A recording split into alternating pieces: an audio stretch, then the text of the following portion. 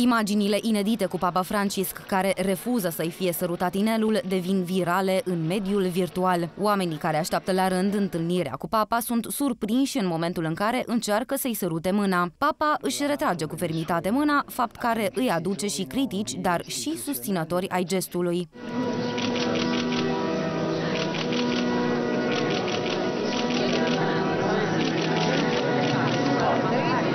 Un biograf susținător al lui Francisc a răspuns criticilor într-o postare pe Twitter. Papa Francisc se asigură de fidelitatea oamenilor, nu dorește să fie tratat ca o relicvă sacră. Papa este vicarul lui Hristos, nu un împărat roman. Este timpul ca sărutatul inelelor episcopilor să dispară cu totul. Este doar ridicol și nu are nimic de a face cu tradiția. Cunoscătorii ai tradițiilor de la Vatican au remarcat că nici predecesorii lui Francisc, Benedict și Ioan Paul al II-lea, nu au agreat să le fie sărutate toate mâinile, cel puțin nu de cozi întregi de oameni și mai ales de dragul circumstanței. Mai sunt două luni până la vizita Papei Francisc în România, iar Mihai Chirică, primarul unui oraș pe care suveranul pontif îl va vizita, Iași, dezvăluie că papa mobilul cu care circulă Papa Francisc va fi fabricat în România și este deja în producție la Pitești.